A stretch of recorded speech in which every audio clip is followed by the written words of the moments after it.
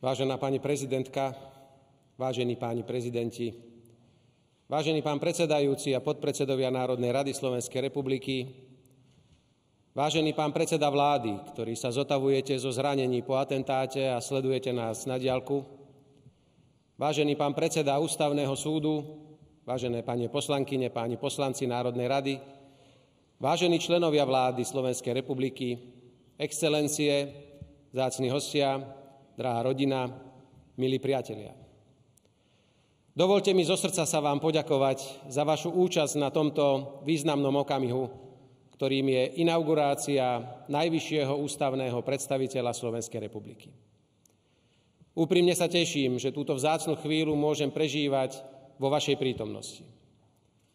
Dovolte mi však obrátiť sa teraz na tých, ktorí o obsadení funkcie prezidenta rozhodli a ktorí tu dnes nemajú možnosť byť s nami. Na všetkých občanov Slovenskej republiky. Vážení spoluobčania, drahé Slovenky, drahí Slováci, stojím tu pred vami v najdôležitejšej chvíli môjho doterajšieho života. A víri vo mne obrovské množstvo pocitov. Hrdosť pri pohľade na našu vlajku i vďačnosť za poznanie, ktoré mi dali roky v službe ľuďom na Slovensku radosť z prístomnosti vás všetkých, ale i lútosť, že medzi nami už nemôže byť jeden z najdôležitejších ľudí v mojom živote, môj otec.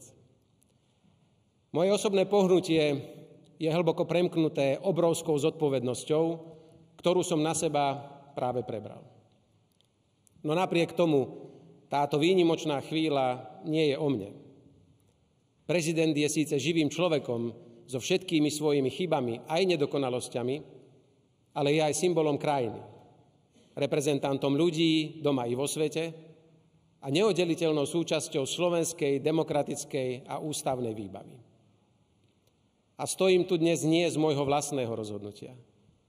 Stojím tu preto, že pred dvoma mesiacmi ma do najvyššej ústavnej funkcie vyslal historicky druhý najvyšší počet voličov. Som im vďačný za tento nesmierne silný mandát Hlboko si vážim ich dôveru a verím, že ju nikdy nesklamem. Ale prihováram sa dnes všetkým občanom Slovenskej republiky. Aj tým, ktorí volili niekoho iného. A prihováram sa im s nádejou, že môj výkon prezidentskej funkcie raz bude hodný aj ich rešpektu. A prihováram sa aj tým, ktorí voliť vôbec neboli. Pretože aj oni sú plnohodnotnými členmi slovenskej spoločnosti a podielajú sa na jej formovaní. Prihováram sa každému jednému človeku na Slovensku s vierou, že sa cíti byť pevnou súčasťou spoločenstva občanov Slovenskej republiky. Prihováram sa mu, aby vedel, že chcem byť aj jeho prezidentom. Je obvyklou výbavou hlavy štátu, že svoj úrad preberá s takýmto slubom. No som presvedčený, že ešte nikdy doteraz nebol tento slub taký dôležitý pretože žijeme v nesmierne ťažkých časoch, kedy sa rúcajú naše dlhodobé istoty a mnoho ľudí má pocit, že ich svet sa prevrátil na ruby. A ich život je viac ako inokedy plný negatívnych emócií, ktorého žiaľ robia horším ako doposiaľ. V posledných rokoch som niekoľkokrát prešiel celým Slovenskom, od Malaciek až po Medzibalaborce, od Oravskej polhory až po Komárno. Videl som v očiach tisícov slovenských ľudí mnoho dobrá a nádeje. Ale videl som v ich očiach aj veľa strachu, frustrácie a niekedy aj hnevu. Ale prosím, neviňme ľudí za ich pocity. Majme pochopenie nielen pre názory odborníkov a elít, ale aj pre toho známeho Jozefa Maka, človeka milión. Život takýchto ľudí bol dlhé roky obklopený istotami, ktoré tvorili pevné opory ich vonkajšieho aj vnútorného sveta. A zrazu sú tieto istoty preč. Preč je istota mieru, ktorý bol dlhé desaťročia úplnou samozrejmosťou. Prestali sme si vážiť jeho nesmiernu hodnotu, pretože vojna bola pre nás len pojmom z učebníc dejepisu. A zrazu je tu, na dohľad od našej východnej hranice. Priamo na uliciach stretávame vystrašené tváre utečencov z Ukrajiny, z ktorých si mnohí zachraňovali holý život. V duchu našej tradičnej pohostinnosti sme ponúkli večeru, noclach i pomocnú ruku.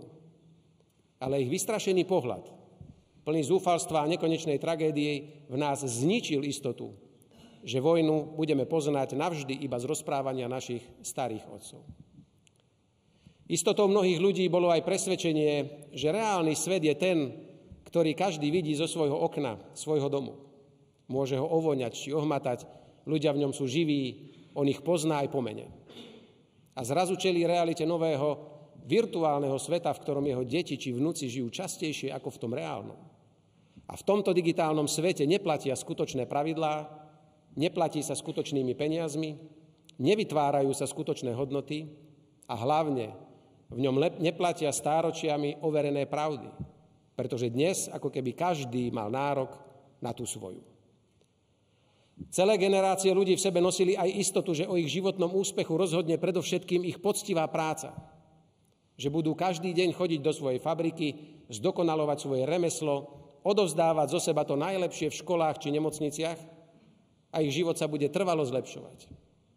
A zrazu mnohé ich zručnosti alebo poznatky nestačia, pretože sa v prudko meniacom svete stávajú nepotrebnými. Nož a poslednou ranou do zmetku v mnohých hlavách bola udalosť pred niekoľkých týždňov, ktorá v našej modernej histórii nemá obdobu. Desať ročia sme žili v presvedčení, že moderné Slovensko dokáže všetky svoje krízy vyriešiť demokratickou a ústavnou cestou. Veď sme po sebe nestrielali ani v čase, kedy padal starý režim. A aj túto zmenu sme v historických knihách vydali v zamatovej edícii. Každý jeden politický problém sa napokon vyriešil vo volebných miestnostiach. A o každom rozhodol vždy jediný sudca, jediný nositeľ moci, občan Slovenskej republiky. A zrazu sa nám pred očami do odohrávajú spomalené zábery ako predseda legitímnej a demokratickej slovenskej vlády padá na zem pod guľkami atentátnika, ktoré len ovlas míňajú jeho životne dôležité orgány. A spolu so zdravím premiéra ukončujú aj našu istotu, že niečo podobné sa na Slovensku nikdy nestane. Nečudujem sa žiadnemu človeku, u ktorého búranie týchto istôt vyvoláva zmetok, frustráciu či zúfalstvo. A nečudujem sa ani hnevu, ktorý vyvolávajú skutočné či domnelé krivdy. Príliš veľa istvot bolo zborených, príliš veľa krivd a nenávisti sa zrodilo. Pandémia covidu, okrem mnohých ľudských životov, ukončila aj presvedčenie, že svet sa už bude vyvíjať iba k lepšiemu a každá nová generácia bude žiť lepšie ako tá predchádzajúca. Po smrtiacom víruse sa objavila energetická kríza – potom hospodárske problémy a napokon vojna plná ľudského utrpenia. Veľa zlého prišlo v posledných rokoch na Slovensko aj spoza jeho hraníc. Keď sa živé tvory ocitnú vo vonkajšom ohrození, inštinktívne sa zomknú, aby lepšie čelili nebezpečenstvu. Nám sa žiaľ zomknúť nepodarilo.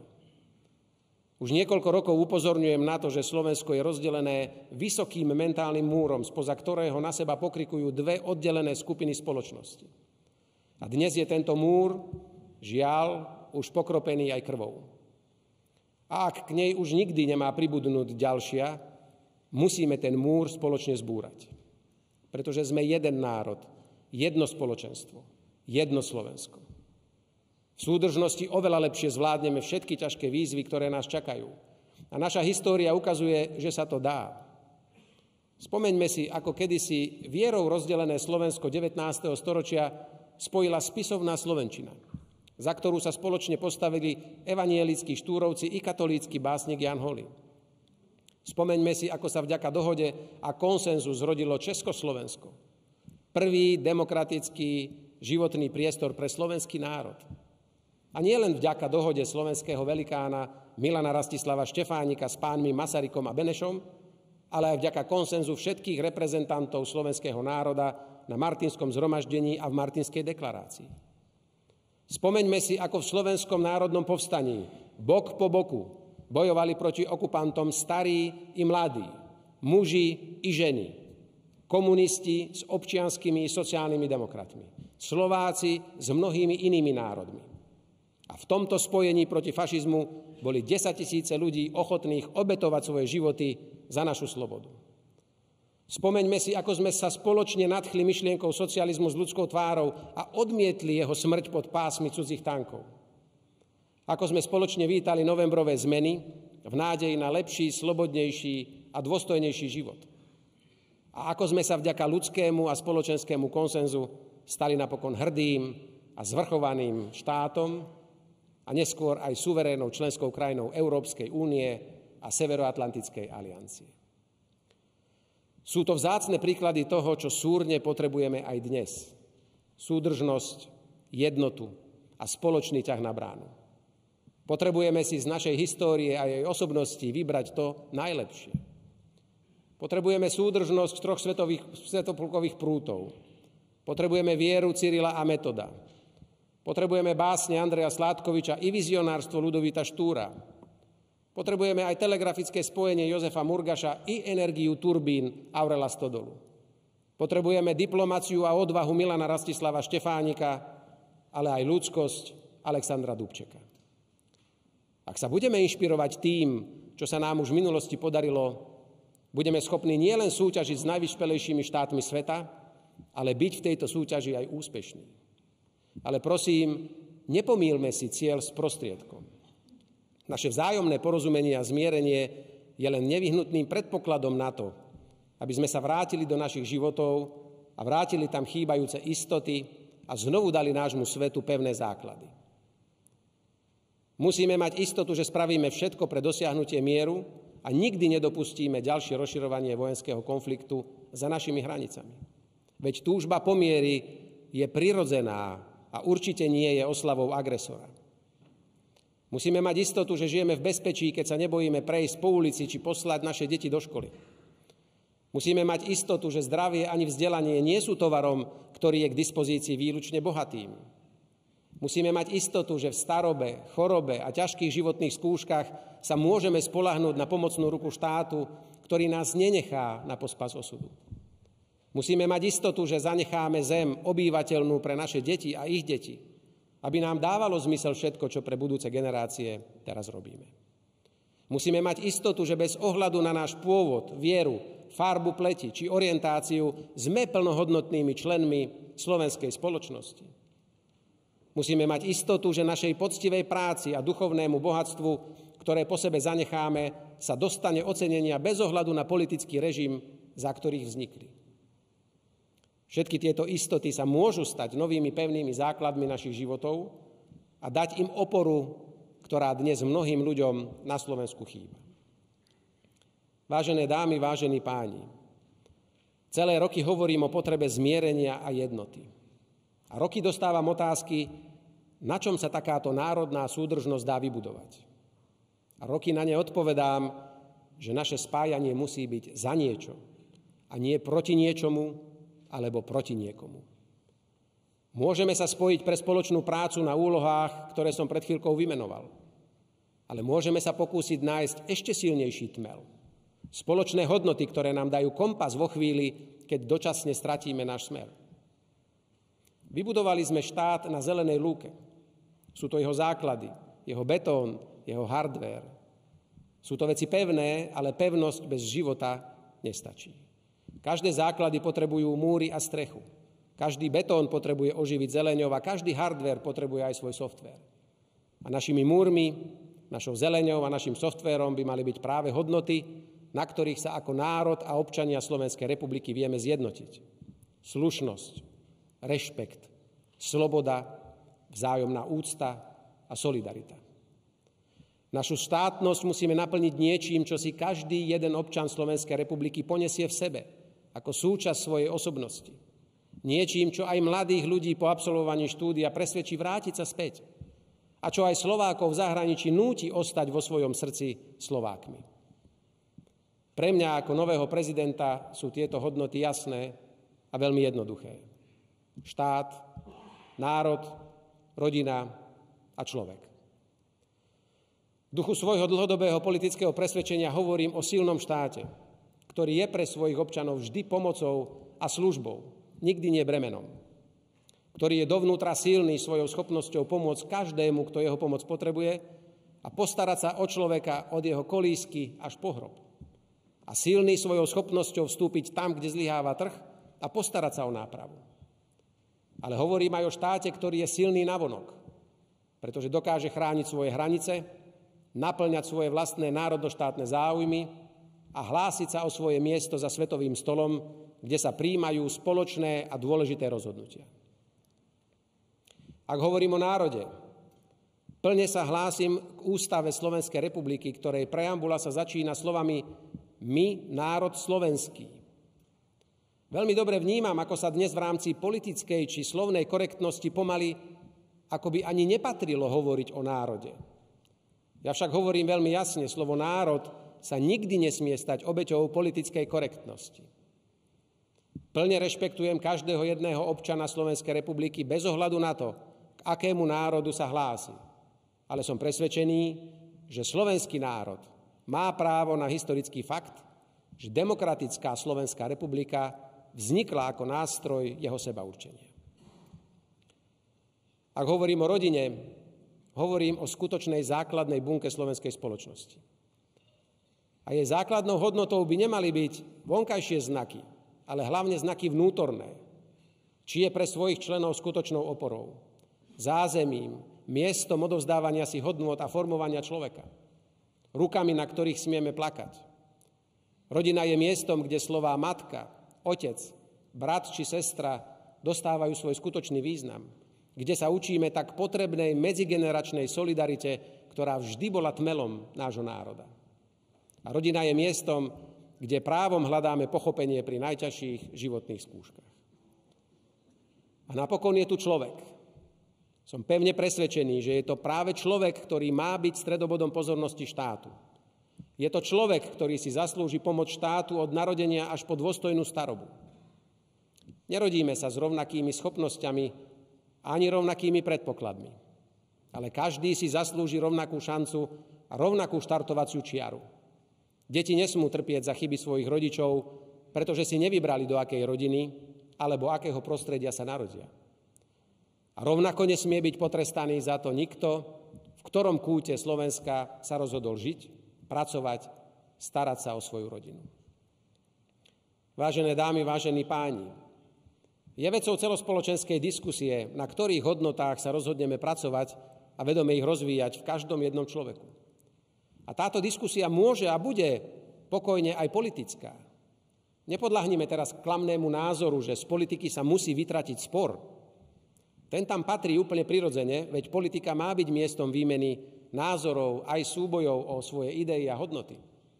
Ale tento súboj musí mať svoje pravidlá. Politika nesmie rozdeľovať rodinu pri stole s nedelným obedom. Nesmie rozdeľovať dlhoročných priateľov a kolegov na pracovisku. Nesmie sa stať hnacím motorom negatívnych a deštruktívnych emócií, ktoré v spoločnosti driemu.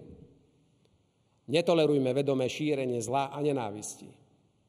Spoznáme to veľmi jednoducho, pretože to nie je útok na myšlienky, ale je to útok na hlavu svojho politického oponenta. Nedovolme urážať ľudí za ich prejavený politický názor. Nepochopené, sklamané a urazené politické egá sa musia predovšetkým pozrieť do zrkadla a nie viniť zo svojho neúspechu spoluobčanov a voličov. Nespochybňujme verdikt voličov len preto, že sa nám práve nepáči. Rešpekt k výsledku volieb je úplným základom demokratického zriadenia a nevyhnutným predpokladom na to, aby sme si politické spory riešili vo volebných miestnostiach a už nikdy nie so zbraňami na námestiach.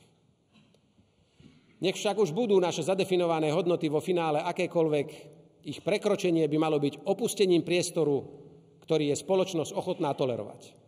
Jednotlivec, ktorý tieto hodnoty poruší, musí vedieť, že sa vlastným rozhodnutím odsúva na okraj spoločnosti, pretože tá jednoducho takéto porušenia neakceptuje a nebude akceptovať. Vážené dámy, vážení páni, definovanie si celospoločensky akceptovaných hodnôt a spoločnej vízie je tým najlepším predpokladom na to, aby sme uspeli ako národ v týchto ťažkých časoch. Ale situácia dnes zašla priďaleko na to, aby sme mohli čakať, kým sa nám to podarí. Slovensko potrebuje liek hneď a teraz. A ten liek som ponúkol aj vo svojej prezidentskej kampani a chystám sa ho všetkými silami ponúkať aj z prezidentského paláca. Je to pokoj. Je nespochybniteľné, že politici, mienkotvorné osoby či médiá majú obrovský podiel na tom, aký tón vládne vo verejnej debate, kam sa táto debata uberá a čo je jej výsledkom. Ale vo finále je stav spoločnosti výsledkom rozhodnutia každého jedného jej člena. Na každom z nás záleží, či dá voľný priechod negatívnym emóciám, alebo bude pre svoju rodinu, priateľov či kolegom, kolegov majákom pokoja a dobrej vôle. A preto dnes prosím všetkých mojich spoluobčanov. Každý jeden z nás sa musí opýtať sám seba, ako môže aspoň malým dielom prispieť k upokojeniu spoločnosti. Je to zásadná úloha, ktorá dnes stojí pred politikmi, mienkotvorcami, ale aj médiami. Ale nájsť hodnoty, na ktorých sa ako spoločnosť zhodneme a ktoré budeme ctiť, je úlohou pre každého jedného z nás, úlohou pre 5,5 milióna ľudí. A ja ako prezident som pripravený urobiť preto maximum. Vážené dámy, vážení páni, som presvedčený, že musíme do spoločenského života vrátiť základné prvky úcty k štátu, k jeho symbolom a v tomto zmysle aj k pôsobeniu prezidenta republiky. Ak však niekto odo mňa očakáva, že výkon prezidentskej funkcie bude nejakým okázalým predstavením, bude sklamaný. Práca prezidenta nemá byť o teatrálnych a falošných gestách, ktoré možno navonok dobre vyzerajú a na pár dní o nich pekne aj napíšu médiá. Výkon funkcie prezidenta musí byť o každodennej poctivej práci pre ľudí. Nie kvôli gestám, ani nie kvôli mediálnemu potlesku, ale kvôli ľuďom. Ľudia sú nositeľom moci a všetkým politikom, vrátane prezidenta, ju len prepožičiavajú. A právom očakávajú aj náležitú pozornosť a skutočné výsledky. Druhý historicky najsilnejší mandát priamo voleného prezidenta ma zavezuje, aby som v každej situácii bol pre každého jedného občana oporou. Zavezuje ma, aby sa na mňa ľudia mohli spolahnúť, aby sa za žiadnych okolností nemuseli za mňa hambiť. Len pred malou chvíľou som zložil slub hlavy štátu predpísaný ústavou. Je mimoriadne stručný, aby obsiahol to najdôležitejšie. Ale môj osobný slub prezidenta vám, občanom Slovenskej republiky, je predsa len o trochu širší. Chcem vám slúbiť, že budem spájať Slovensko, na ktorom spoločne žijú ľudia rôznych národností, vierovýznania, svetonázoru, orientácie či rasy. Budem hľadať cesty, ako dať všetkým ľuďom pocit súdržného spoločenstva, ktoré dokáže ťahať za jeden povraz a posúva svoju vlast k lepšej budúcnosti. Národno-štátne záujmy Slovenskej republiky budú pre mňa dôležitejšie ako potlesk celebrít, oslavovanie médií či pochvala od svetových lídrov. Sebavedomé a hrdé Slovensko, ľudia, národ a štát budú u mňa vždy na prvom mieste. Slovensko je, bolo a ostane pevnou súčasťou Európskej únie i Severoatlantickej aliancie. Ale nebude sa v nich nikdy báť hovoriť svojim suverénnym hlasom. Budem pracovať aj na zdravých vzťahoch so všetkými našimi susedmi. S českým národom sme prepojení doslova rodinnými väzbami. Z úctou hľadíme na Polsko, ktoré dalo svetu veľkého pápeža. Rakúsku nikdy nezabudneme, že bolo pre mnohých ľudí útočiskom v čase neslobody a s Maďarskom sme stáročia kráčali spolu spoločnými dejinami. A Ukrajine chceme pomôcť, aby sa mohla tešiť zo spravodlivého mieru a následnej obnovy. Budem sa usilovať o vytvorenie silného a starostlivého štátu, ktorého centrom pozornosti je človek od narodenia až po jeho dôstojnú starobu.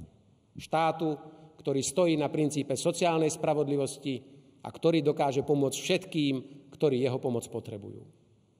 Budem sa usilovať o politiku, v ktorej panuje základná kultúra, úcta a dôstojnosť.